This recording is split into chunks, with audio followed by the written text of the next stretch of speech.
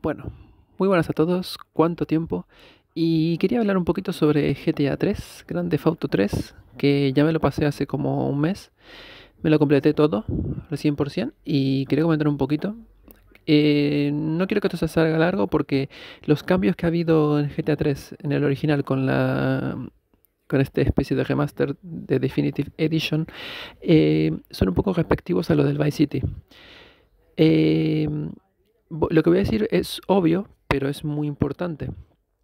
Uno de los grandes cambios del GTA 3 ha sido, por, ha sido, por supuestísimo, el mapa. Para los que hayáis jugado el GTA 3 original, eh, sabéis de que en el original no había mapa en el menú pausa. No había mapa. Además de que el, de que el, minimapa en el gameplay este, eh, era como medio transparente y no se veía muy bien. Ahora, eh, no, o sea, no se apreciaba la zona de asfaltado con las zonas verdes, la zona del agua. En cambio, ahora sí, eso ya se aprecia todo. Es como los otros GTA ya, del Vice City en adelante. Eh, pero tenemos el, el mapa en el menú pausa. Y además de que podemos interactuar al igual que los otros GTAs. O sea, poner es la leyenda, eh, por marcar, marcar un punto ahí de encuentro, bueno, ya lo sabéis. Así que eso es algo del cual estoy muy agradecido, por supuesto. Y en cuanto a temas de jugabilidad y demás, es bastante respectivo a lo del Vice City. Hay que decir que no te puedes agachar, que ya lo habréis quizás oído. No te puedes agachar en GTA 3, no se puede agachar. Yo no sé, yo creo que no es tan difícil hacer que el, que el, que el, que el, avatar se, se, agache, pero bueno. Y, y, al final este, voy a decir un poco, bueno, en el Vice City, eh, en cuanto a los gráficos y, y, los cambios esos, hay que decir de que yo se lo noto sobre todo quizás de noche, con las luces, ¿no? Esa, la iluminación.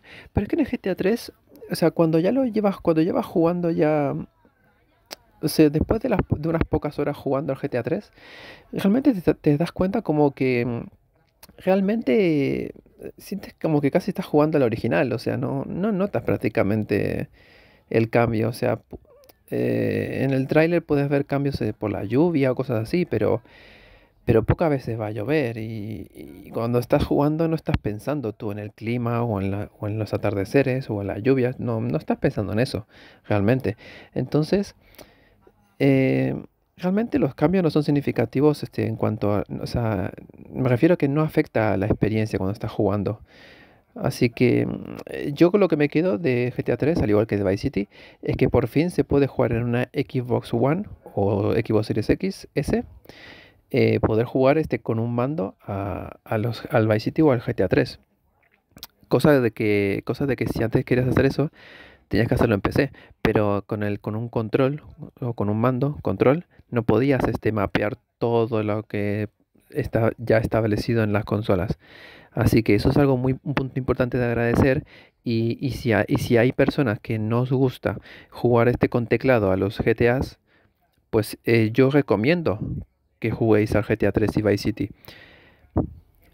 A poco que tengáis interés en estos juegos. Y si no los habéis jugado nunca, el Vice City jugarlo, pero el GTA 3 siento que es el GTA que menos vale la pena jugarlo, en mi opinión, ¿no? A mí me gustan todos, soy, soy fan de GTA, pero desde como jugador normal, o sea, me, me refiero a quitándome la, la estampa de, de, de, Rockstar Game, de Rockstar Games, este, GTA 3 lo recomiendo mucho menos que el Vice City, ¿no? Claro. Aún así estos juegos vienen juntos, así que bueno, tampoco puedo decir eso. Así que nada, yo creo que no me dejo más nada. Eh, simplemente quería comentar un poquito esos par de cambios que he dicho, que, son los más que yo podría decir que son los significativos. Pero por lo demás, este... poco, poco cambios más. O sea, sí, ahora hay más, cambios y eso, pero, pero lo demás, los otros cambios que puede haber son detallitos. Así que no, no, no, no, no, no vale la pena mencionarlo. Simplemente quería decir un poco esto. Eh, un poco a modo de, a modo de opinión, recomendación, más que nada, ¿no?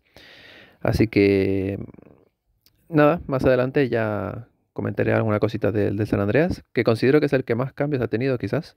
Y, y nada, ya lo dejo aquí y gracias por escuchar y hasta la próxima.